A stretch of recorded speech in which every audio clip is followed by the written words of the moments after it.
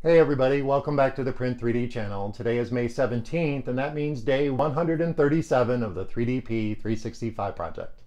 And on today's episode we printed out this little Flex Rex toy, so stick around.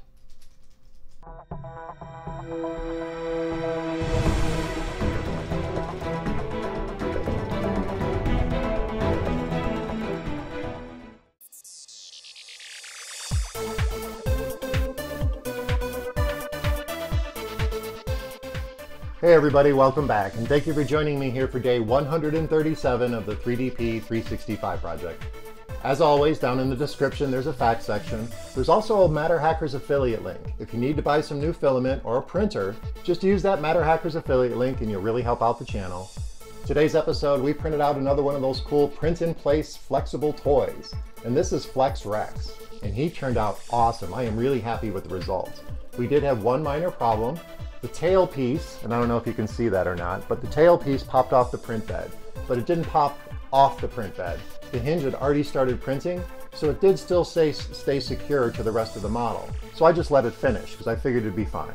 And it did have a significant layer shift. You can clearly see there's a layer shift there. But the hinge itself, it still works pretty good. And now there's eight individual hinges on here that printed and this tiny, tiny little toy. And look at that, it's super flexible. Those are some very flexible hinges. So I'm really happy with the results, even with this little split tail there. That makes them kind of unique. And we downloaded this from Thingiverse, and once we had it downloaded, we sent it over to Simplify 3D for slicing. In Simplify 3D, we used a 0.2 millimeter layer height with four top layers and three bottom layers and three perimeters. We also ran a skirt at 10 millimeters from the object at three outlines. For infill, we used 20% because that's what the model on Thingiverse suggested that we use was 20%. And it was a good idea because anything less than that and these other pieces wouldn't have filled in with any infill. And probably those top layers would have came out kind of bumpy or bubbly. So we used 20% infill. We also ran this out at 35 millimeters per second because I just wanted to make sure we captured all these little hinges perfectly. And the final result with all those settings is a very flexible toy, and it actually turned out pretty good. And I used MatterHackers Pro PLA in the color of Pearl Blue because that's one of my favorite colors.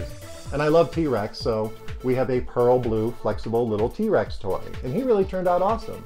Besides the little layer shift, the rest of the print looks good. There's no real skips. There's no um, layer separation anywhere else. The little uh, tail piece that popped off didn't cause any more problems throughout the other part of the print, so that's really good. And I'm really happy with the results. And of course, he's super flexible, so this is a good print. Well, that about wraps it up for day 137 of the 3DP 365 project. I hope you guys found this episode interesting and informative.